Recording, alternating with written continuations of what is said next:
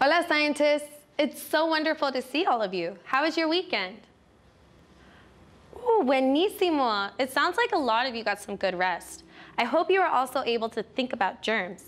Did any of you remember to think of questions or ask some family scientists about them? Awesome, a lot of you did. That'll make things even more interesting. Interestingly enough, I have a question too. Well, I actually got the question from one of my students. I noticed a couple of times before that some of them were not wearing their masks correctly when they had to wear them. So I took some time to show them how to wear them. I reminded them that your mask needs to cover your nose, mouth, and chin. Then one of my students asked, why do we have to cover our chins? So I told them, well, can I show you while I explain? Okay, great. It could be a little hard to explain.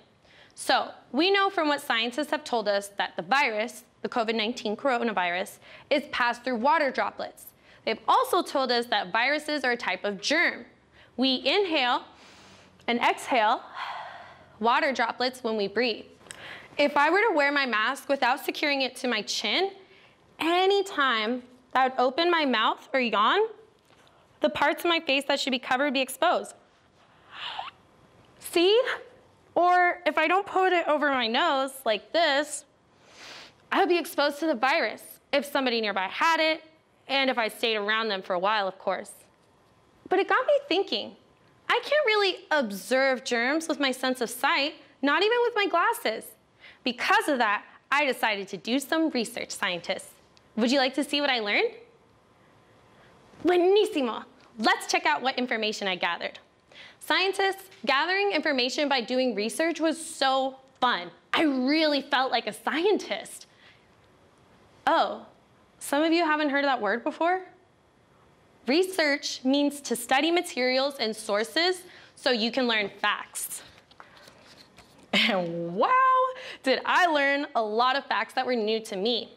I learned that there are different kinds of germs, and cooties are not one of them. I learned that germs can be bacteria, viruses, fungi, and protozoa.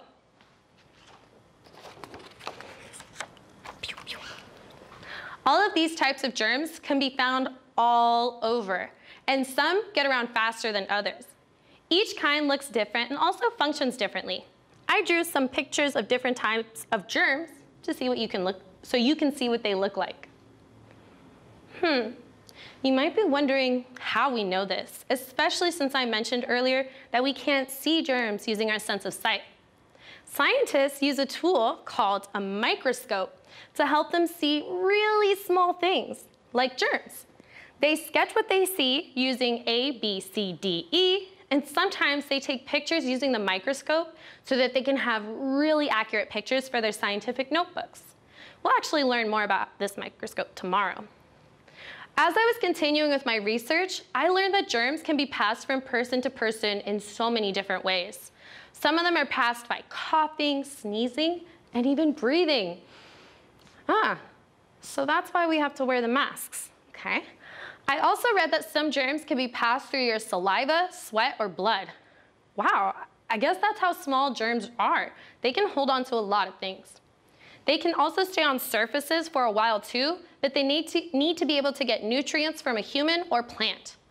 That's so interesting. I need to know more about germs.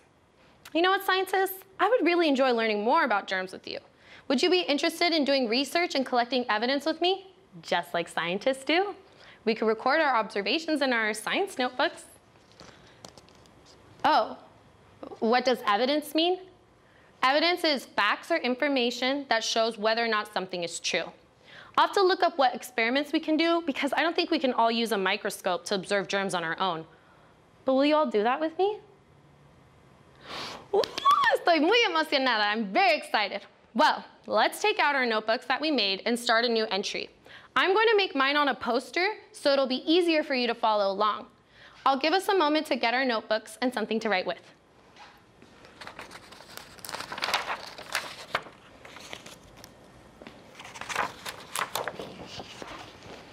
Estoy lista. I hope you all are too. I'm gonna start my page with the date on the top and a number at the bottom and the title, germs, viruses. I'm going to write this information on my poster paper, so please follow along by writing in your notebook. Make sure to also put all of this into your table of contents later.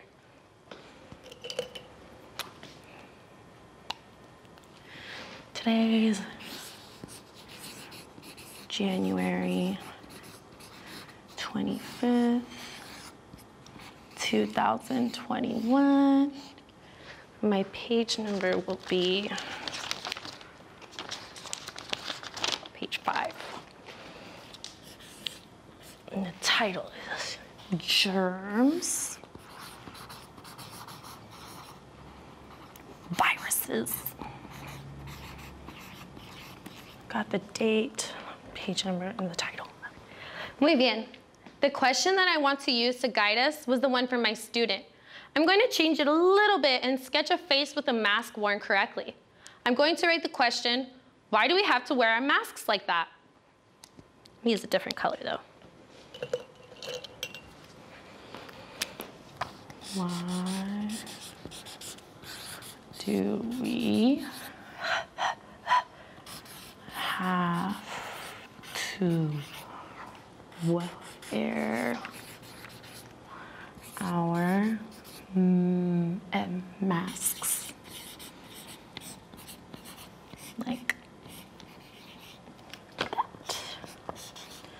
And this is a question mark, so or question, so we end with a question mark.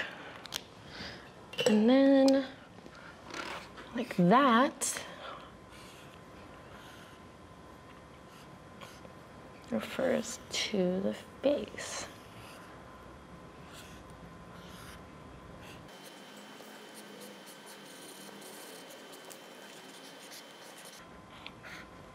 There we go. So why do we have to wear masks like that? All right. So, awesome. Later, I'm going to write what I shared with all of you. And, but I want you to do something a little different.